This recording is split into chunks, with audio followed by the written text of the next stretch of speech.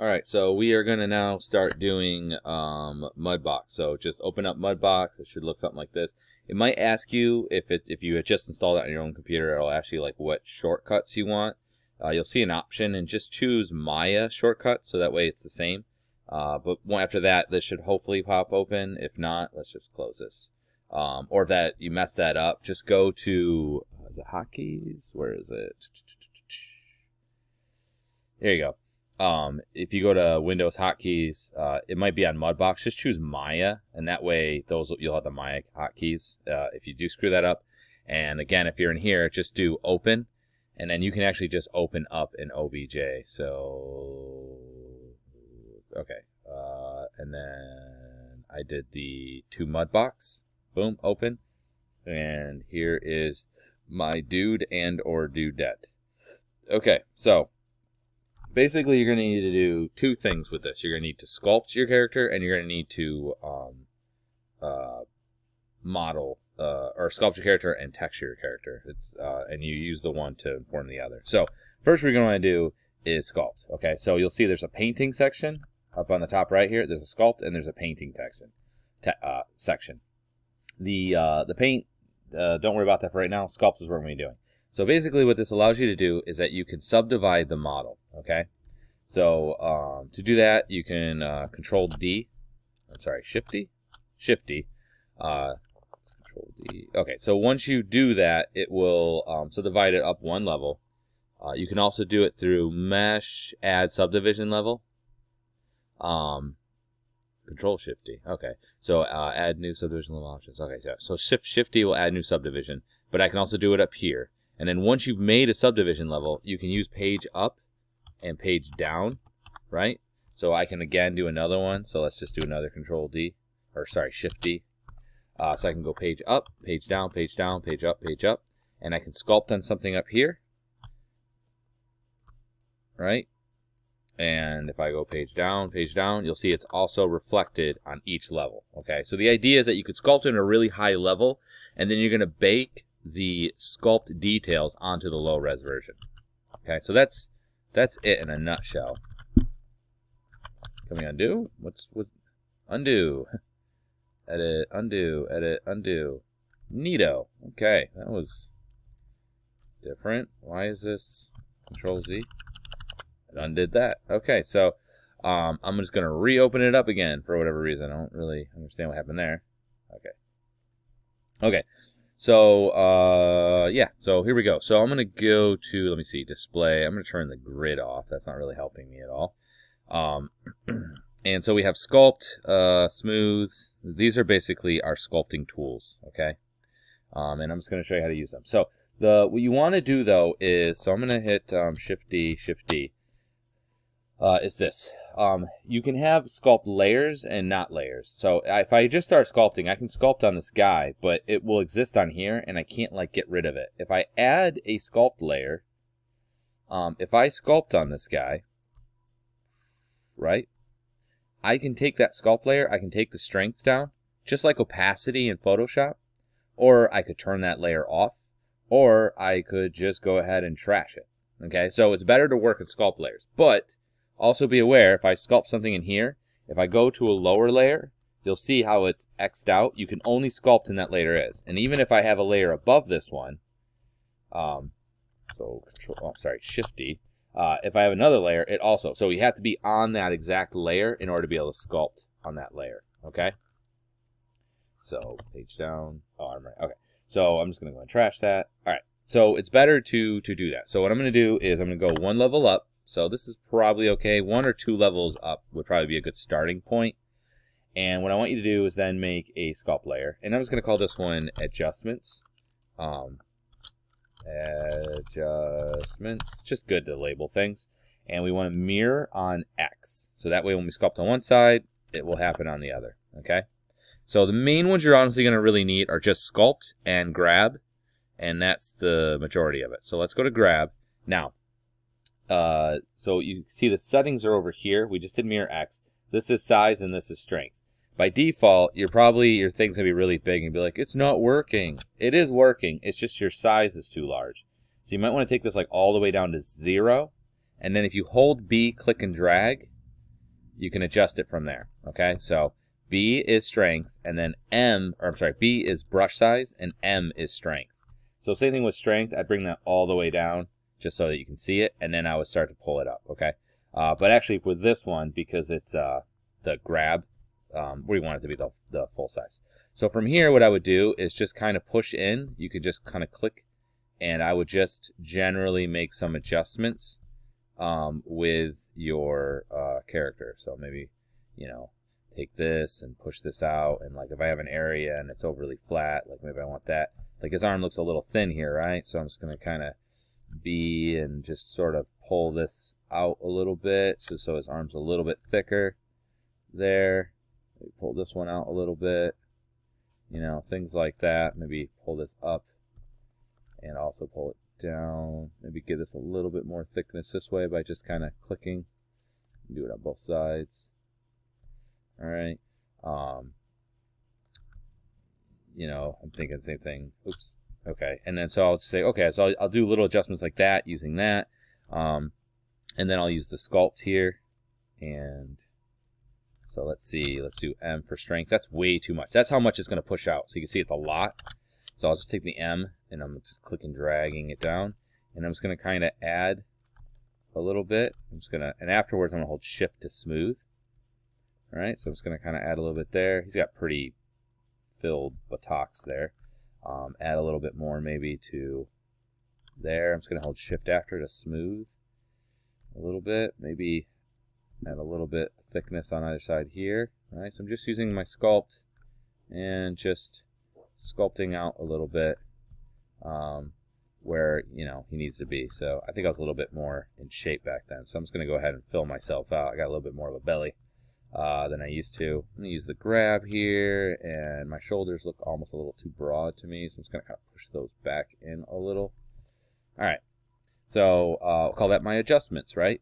Then what I'm going to do is I will, let's say, Shift D, Shift D, maybe two more levels up. I'll do another one, and I'll just call this like uh, anatomy, anatomy, where I'm just going to basically try to add like muscles and that sort of thing, right? So um, will grab? Oops. Okay, okay. I'm gonna go back to the sculpt tool, and then I'll just kind of sculpt down, and I'm just gonna, you know, sculpt up a little bit, and then you'll notice that smooth is weaker as you go up to higher levels. So my guy's not real um, strong anyway, so but maybe add a little bit more of a knee here, maybe a little bit more of a calf kind of a thing. Right, and I'm just going to smooth that out. That looks fine. Alright, maybe work this pec out a little bit. Um, you can make some adjustments in faces. Like I feel like my cheekbones are kind of weak here, so maybe just, oops, that's a little too much. Ugh, keep holding. So click and drag down, and just kind of then shift smooth it out. Right, so just um, generally maybe add a little bit more to my brow here. A little bit of a stronger thing here. Um, that sort of thing. Uh, but I would go through and really try to make some improvements. So I'm just going to pull that nose out a little bit more. Um, so you're just going to generally try to sculpt. Um, the anatomy, maybe I'll do another Shift D. Um, and I'll make another layer, and let's call this like, I don't know, uh, wrinkles, we'll say. Wrinkles. And in here, what you could do is, I would suggest looking at clothes.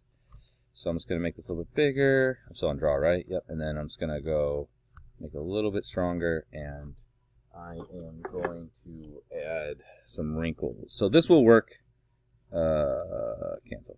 This will work better with uh, if you have a pen. Ugh, keep trying to. Um, because then you can um, more organically smooth it out.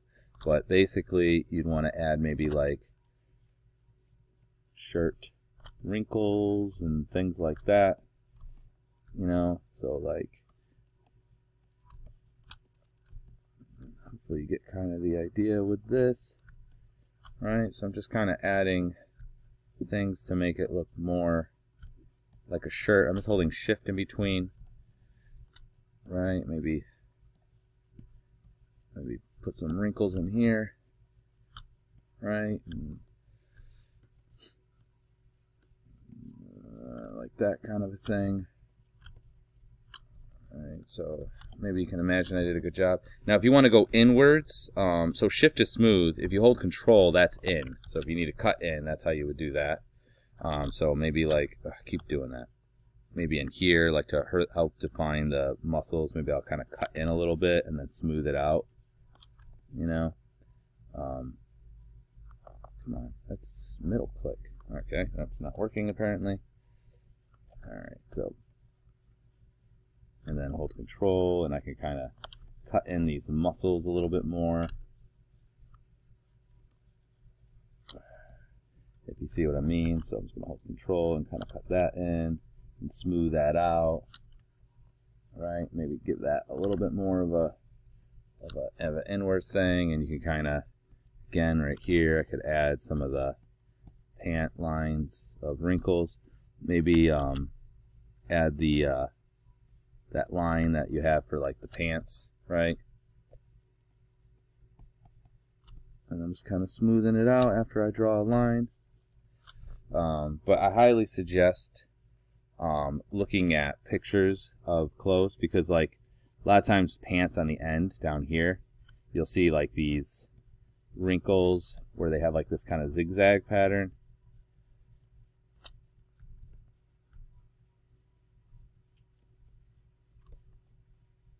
Kind of the thing. So that was kind of, oops, not like that. Control, kind of cut that in a little. Um,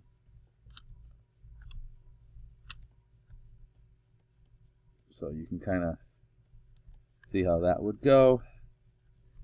But anyway, you kind of get the idea. Uh, but basically try to add wrinkles and things. You can see, I mean, it doesn't look great, but you can kind of see how if I actually like worked on it and was like invested, uh, I could probably sculpt something that looks kind of nice, right? So uh, I would kind of add wrinkles to the next level here, and I would just do that all the way through. Then you could add another layer, and we'll just call this like texture, maybe. And then choose to really more minute things. So, you know, start in um, here uh, let's see, B, there we go. You know, I could add more like my uh, Bilbo Baggins, as my brothers always called it, you know, the nasolabial folds. Um, and I could add some other stuff. So we didn't use these yet, but I'll show you them. So let's say I want to add uh, like some neckline. So sometimes you see uh, necks have these like lines in them. So let's see if I can look it up. Hopefully I don't get something weird. Let's look up neck wrinkles. Let's see. Images, probably going to be kind of gross. Let's see. I just want normal. Here we go. You kind of see it here. I don't know if you can see it. That was not what I was hoping for. Okay. Get out of there. Uh, but usually there's these like lines you see that kind of cut across, right? This kind of a thing. Um, you can uh, use some of these things here. So I can use these stamp images and it's kind of similar to if you're in um, uh, I might need to actually up the level here. Oh because I'm still on 4 let's uh sorry shift D. So every time you um you up a level though it's gonna get slower and um, all sorts of, so that's a little bit too deep. So a little bit more. Okay. Uh, oops. Uh, M I'm gonna make it a little bit weaker and I'm also going to B make it a little bit larger but I could kind of use it, you know what I mean, to kind of insinuate some of that stuff and, you know, crow's feet kind of a thing, depending on what your person is. Um, so you can use these different brushes down here, and they have all sorts of different ones that are pretty cool. You know, try it out, see what you get. You know, I mean, obviously I don't want to do that, but uh, there's all these ones down here. Um, and you can even do things where, like, let's say I wanted, I'm doing a lizard guy or something, right? I could select this, and you can see what it does is it drags it across. But let's say I'm, for whatever reason, I'm wearing like some sort of lizard thing here. I could change some of the options down here and do like randomize, which will randomize it. Then I'm going to take my stamp spacing and make it quite a bit more. Because what that's going to do is it's going to make sure that it, it uh, happens across uh, farther. So make this a little bit larger. Uh, and you can see because it's randomized, if you don't do randomize, it's going to look like it's just repeating the same thing. See what I'm saying? But if you turn on randomize, come on, it will rotate it, scale it, and what have you. And then you can kind of get a cool texture just from um, using that. Now you can see I'm actually still a little bit too low. I probably want to do one more subdivision level uh, to get full effect of that. Uh, but that's still pretty neat. Um, so you can choose these different ones or just turn it off. There's also um, stencil. So the way stencil works is kind of similar. Um, let's say I want my shirt to be a brick texture. I could grab this brick. What it's going to do is it's going to lay over this picture. And you can add some too. You click this little arrow and you can add a stencil. Just find a picture and it will use it as a stencil. Um, same thing with stamps. You can add a stamp. So you just got to find something. Obviously, you want it to be like an alpha that you would use for Photoshop. So anyway, stencil. I'm on this guy. Um, and then I would, the way it works, you can see S, middle mouse, and what have you. So if I do S, right mouse will zoom it in and out. Uh, middle mouse will move it, and right mouse will rotate it. Or left mouse will rotate it. Left mouse button. So now, if I were to sculpt on it, you could see I could sculpt basically, it's like you're rubbing it onto the surface, right? And Q will turn it off, which is kind of neat, right? So anyway, I'm to turn that back off. So you could try utilizing these as well. Uh, but what basically we want to do is get the best looking sculpt that you can. And once you're happy with the sculpt and you know it, you clap your hands. Um, and then you would save it. So let's, I'm just going to save it just because. All right, let's try this again. File, Save scene as. Oh, there's no hotkey for it. And we'll just say um, uh, Mudbox guy. And I would just save this into your scenes folder of your Maya project folder. Okay. So you would save it. Um, and then uh, what we'd want to do is start texturing. Now, uh, to make, yeah, we'd want to start texturing. So I am going to call this good enough for now uh, with this, I'm gonna make another video that I'm gonna cover texturing. So imagine I went through and actually like did a good job texturing them. I'll make another video that's gonna or sculpting them. Uh, we're gonna in the next video we're gonna bake these textures onto the texture map and we'll start painting the textures. Uh, and there's a whole process for that as well.